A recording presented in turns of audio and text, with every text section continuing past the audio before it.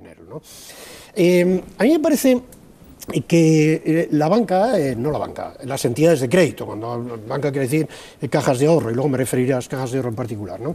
pero que las entidades de crédito española tienen por delante retos muy importantes. Eh, Emilio se refería, y con razón, al reto de la morosidad que está creciendo y que lógicamente va a crecer. Pero no solo eso, sino al calendario de morosidad, que es de dos tipos, el calendario de provisionamiento, quiero decir, el corto y el largo, hay dos calendarios, el, corto tiene unas exigencias muy importantes ya para, para el ejercicio que viene.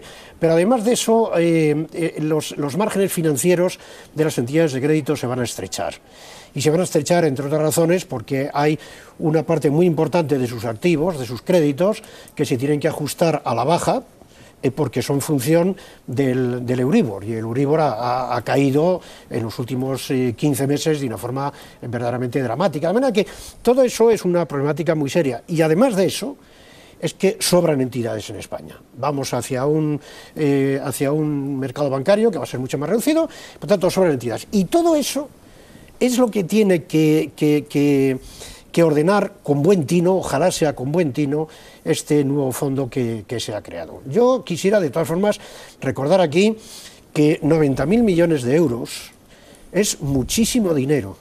No es mucho, es muchísimo dinero, porque a veces nos bailan las cifras en la cabeza. ¿eh? O sea, 90.000 millones de euros es el 9% del Producto Interior Bruto español, que ya está bien, dedicárselo solo a un sector, y que por lo tanto, siendo como es dinero del contribuyente, hay que gestionarlo con un gran sentido de la responsabilidad. Muy probablemente va a ser así y ojalá sea así. Pero aquí hay algunos temas, Emil ha suscitado alguno, como es el de la interferencia o no de eh, los eh, poderes políticos en las comunidades autónomas en relación con las cajas de ahorros, que si quieres hablamos un poco más de ello, pero que convendría desde el principio eh, sujetar bien, porque lo responsable ahora no es poner encima de la mesa aspiraciones políticas de carácter local. Lo responsable ahora es sanear el sistema financiero español. Ante esas posibles interferencias, este fondo sí da una mayor, mayores armas al Banco de España para hacer frente al posible veto autonómico a esas posibles fusiones entre cajas de ahorros. ¿no? ¿Creéis que se ha articulado bien? ¿Creéis que habría que haber ido más allá? O... Bueno, yo no tengo muy claro, ¿no? Si, eh, uno, si finalmente una norma de este rango puede enmendar la plana. Claro, habría que ir más allá, quizá, ¿no? Enmendando la ley. A una norma de mayor rango, como es una ley orgánica. ¿eh?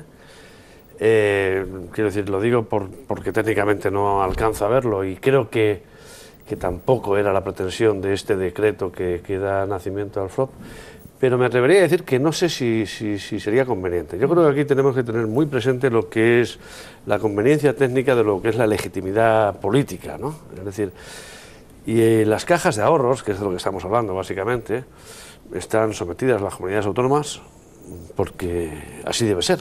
¿eh? Es decir, no, no pueden caer en una tierra de nadie.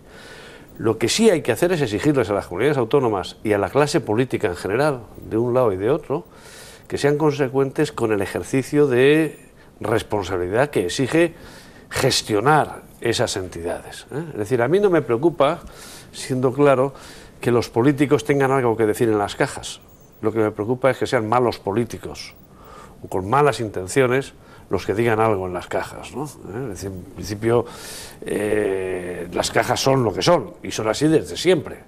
Y han hecho una, digamos, una contribución positiva a la dinamización, a la competencia del sistema bancario español, a su eficiencia. Incluso han demostrado que las relaciones de propiedad en última instancia no eran tan relevantes cuando el marco competitivo general era el adecuado. ¿no? A mí no me preocupa eh, que sean las comunidades las que faciliten o no las cosas, porque la Constitución lo dice. ¿eh? Lo que me preocupa es que sean malos políticos, como me preocuparía si fuera accionista de un banco, que fuera un mal consejero de administración, es decir, que fuera un amiguete -huh. Del presidente. Claro. El chronic capitalism, el capitalismo de amiguetes, no es exclusiva ¿no? de sistemas.